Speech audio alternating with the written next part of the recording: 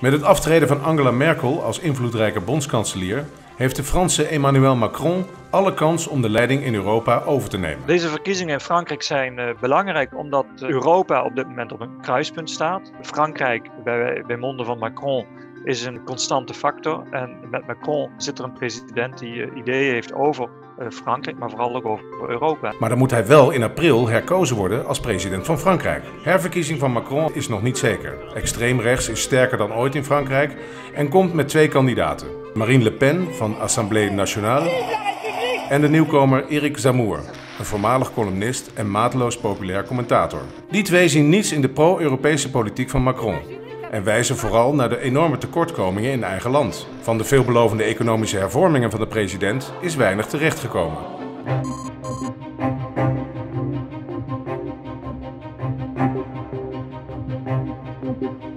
Liberté, égalité, fraternité. In 2017 raakten we niet uitgepraat over de nieuwe Franse president Emmanuel Macron. Hij werd de Wonderboy uit Parijs genoemd. Voormalig superbankier, ex-minister van Economische Zaken en de leider van een progressieve partij met een heldere blik op de economie en de EU. Macron zou met zijn pas opgerichte partij En Marche onderdeel uitmaken van een nieuwe politieke generatie. Het Franse equivalent van Barack Obama en Justin Trudeau. Staatshoofden die de wereld zouden veranderen. Lange tijd leek dat ook zo, vooral in de internationale media. Macron scoorde als een van de grootste verdedigers van het klimaatakkoorden van Parijs en hij toonde zich een leider in Brussel en een behendig diplomaat, die zelfs Donald Trump voor zich wist te winnen.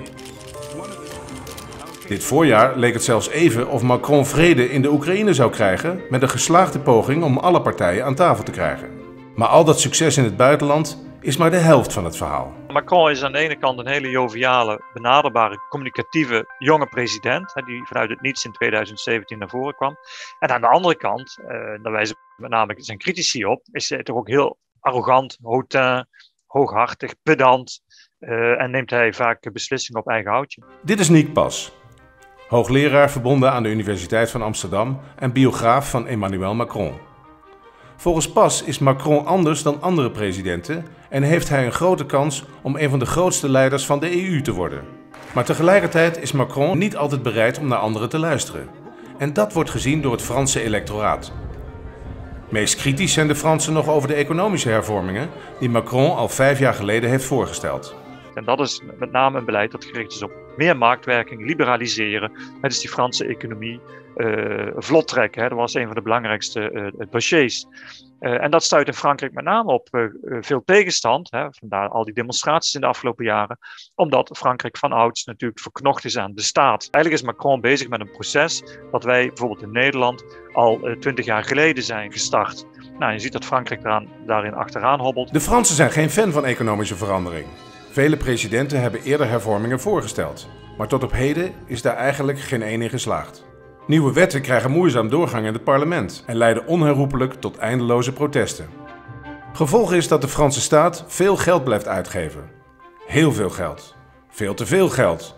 Ook Macron. Vanaf het begin heeft Macron geprobeerd uh, om uh, Frankrijk begrotingstechnisch weer op orde te krijgen. Het huishoudboekje moest uh, kloppen. Frankrijk moest ook voldoen aan de 3%-norm vanuit, vanuit Europa. dat was heel belangrijk in de eerste jaren van zijn presidentschap.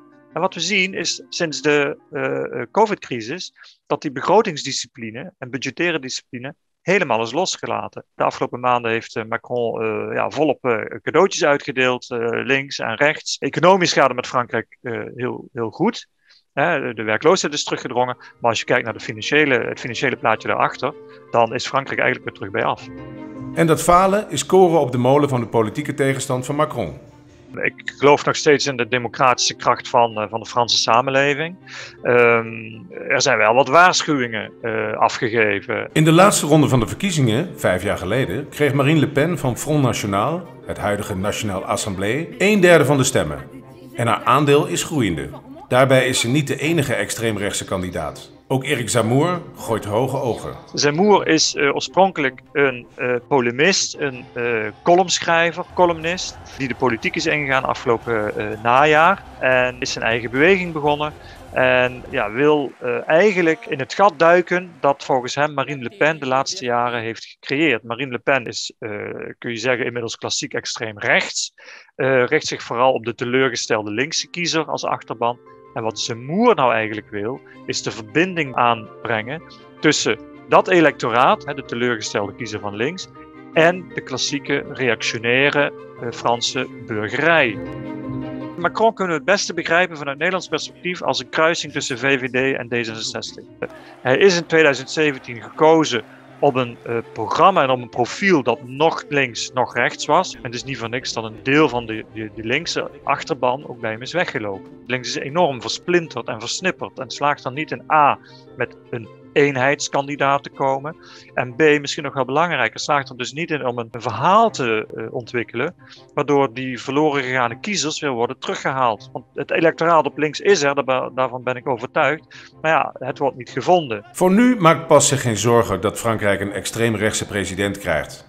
En dat daarmee de rol van Frankrijk in de EU wordt afgebroken gemiddelde Fransman wil geen Marine Le Pen of een Eric Zemmour in het Elysée. Belangrijker zijn misschien de verkiezingen van 2027, want dan kan Macron zich niet meer kandideren.